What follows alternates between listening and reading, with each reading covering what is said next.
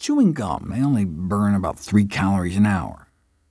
But the calorie expenditure is not just your little jaw muscles at work.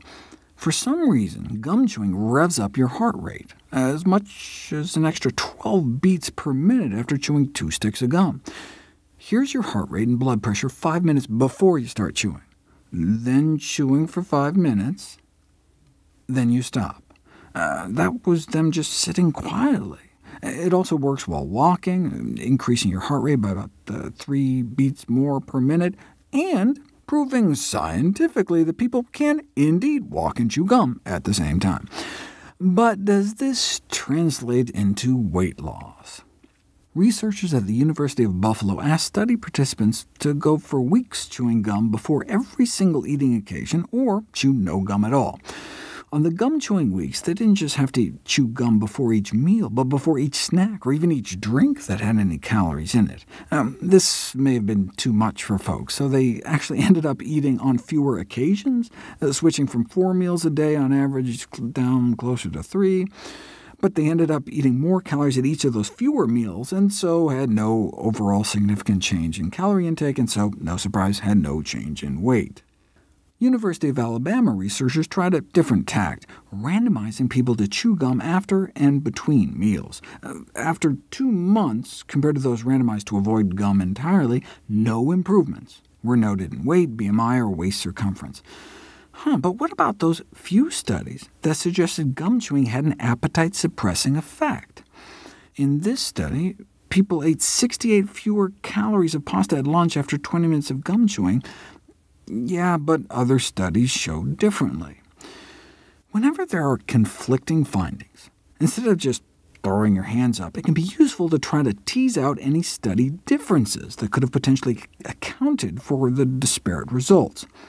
The obvious consideration is funding source. This was a publicly funded study. But that failed Alabama weight loss study was funded by a gum company, so the outcomes are not necessarily predetermined. Different types of gum using different sweeteners may have contributed to the diversity of findings. That one study showing gum chewing instead actually may increase appetite, uh, for example, was done with aspartame-sweetened gum. Uh, people reported feeling hungrier after chewing the sweetened gum, not only compared to no gum, but compared to chewing the same gum with no added aspartame. True, not a single randomized controlled trial has ever shown a benefit to gum chewing, but they've all used gum containing artificial sweeteners. There was a landmark study that showed that sip size matters. Have people drink at the same rate, but give them a sip every two seconds or a quadruple-sized gulp every eight seconds, and the smaller sip group won out, satiating after about one and a half cups compared to two cups when taking larger swigs. Um, this is thought to be because of increased orosensory exposure. Your brain is picking up the more frequent pulses of flavor and calories, but repeat the experiment with an artificially sweetened diet drink, and the effect appears to be blunted. So maybe a different type of gum would have a different effect? Uh, the positive pasta study was performed using gum mainly sweetened with sorbitol, a, a sweet compound found naturally in foods like prunes, but like prunes can have a laxative effect.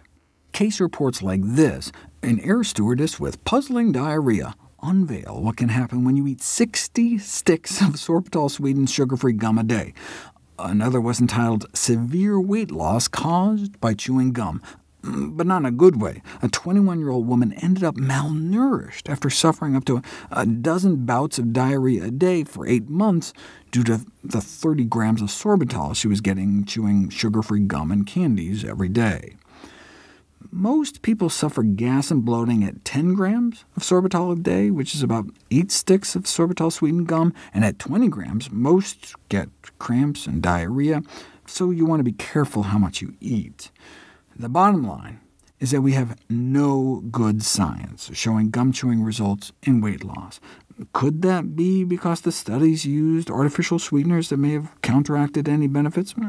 Could be, but the, the most obvious explanation for the results to date is that chewing gum simply is not an efficacious weight loss strategy, and that's coming from researchers funded by the gum company itself.